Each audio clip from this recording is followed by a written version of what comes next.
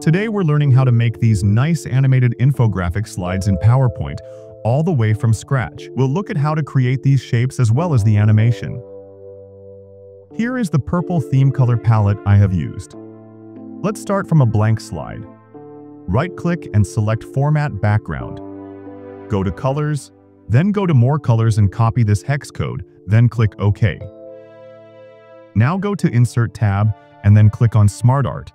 And in Smart Art, select Relationship and then scroll down a bit and select Basic Venn. Now this shape will appear, click on the arrow. Give abbreviation as 1, then go to the next and write 2, then 3, and so on up to 5. Now click on arrow again, then right-click on the shape outline and ungroup them. Again, right-click on the shape and ungroup one more time. Now, select the numbering one by one and remove them. Select the whole shape by dragging while holding the left mouse button, then go to Shape Format, and then go to Merge Shapes and select Fragment. Now once we are done, zoom towards the shape. And now, look carefully at the shape. It's forming somewhat like a moon. Select the shape outline for the first part like this. Hold Shift while tapping on it.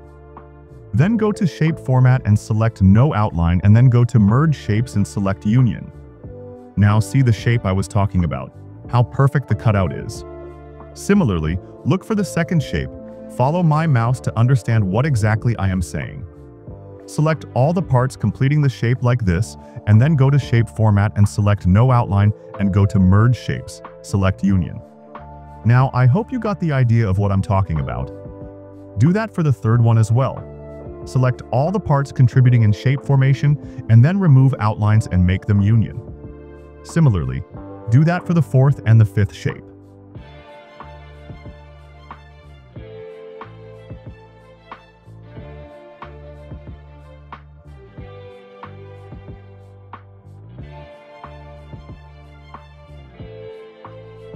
Now once we are done, delete that pentagon in the center. Select the complete shape like this and give them a white color and put the transparency to 0%. Now select this shape and give it the darkest color. Go to the next shape and give it a lighter tone like this one. Go to the next and similarly give it the shade of purple like this one.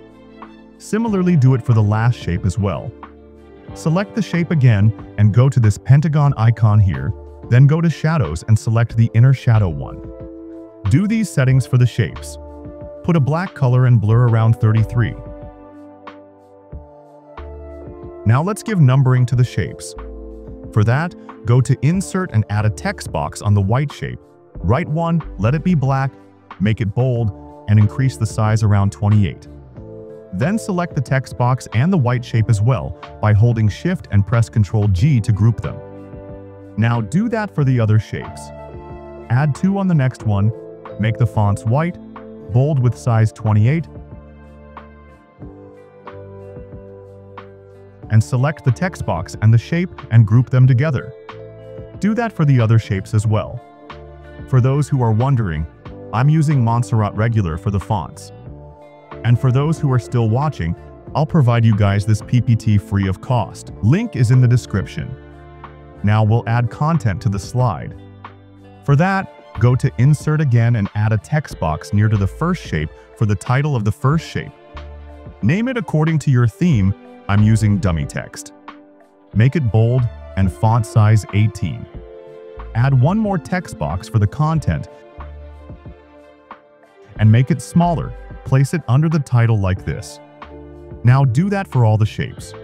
We are duplicating the text boxes and just change the abbreviation by 2. Now select all the text boxes like this and press Ctrl plus Shift while dragging it to the right side like this and place it accordingly. Adjust them and add one more to make it complete the five parts.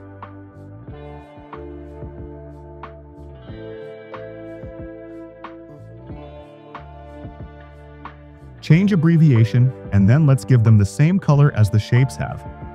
Just follow along, I hope you guys can do that, it's easy.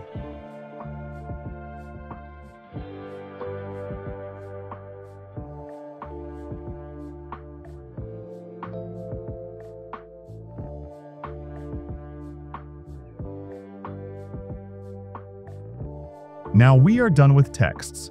Let's give it the nice animation.